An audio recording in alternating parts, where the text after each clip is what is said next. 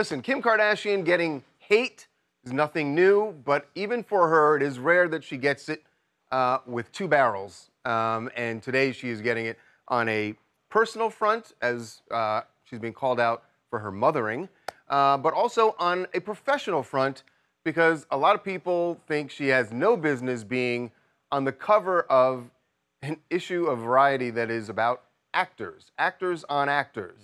Uh, and you can see it's uh, Kim Kardashian and Chloe Sevigny on the cover.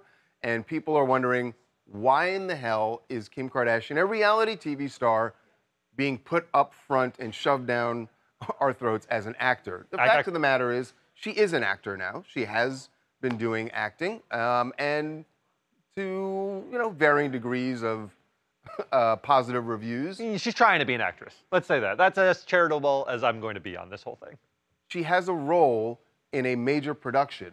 Yeah. That means she's an actor. If the only productions were Ryan Murphy productions, she'd have a brilliant career. Wow. Well, this is the kind of hate that she's dealing with um, that I, I think is a bit um, uh, unfounded and is really just about people who are spiteful. uh, but here's what she had to say. Chloe Sevigny actually sat down and did an interview with her for the Actors on Actors uh, special that Variety put together. Uh, and this is Kim talking about, as an actor, um, the possibility of doing uh, accents. Are you going to do an accent? I would be open to it, but especially because I find my voice is so just distinct and annoying. So I Don't I, we all find our I- voices annoying?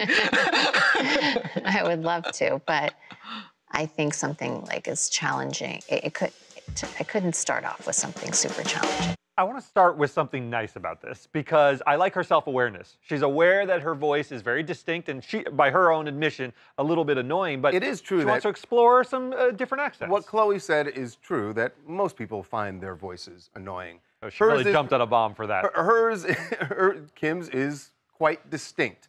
Um, it's the vocal fry, right, that everyone talks about.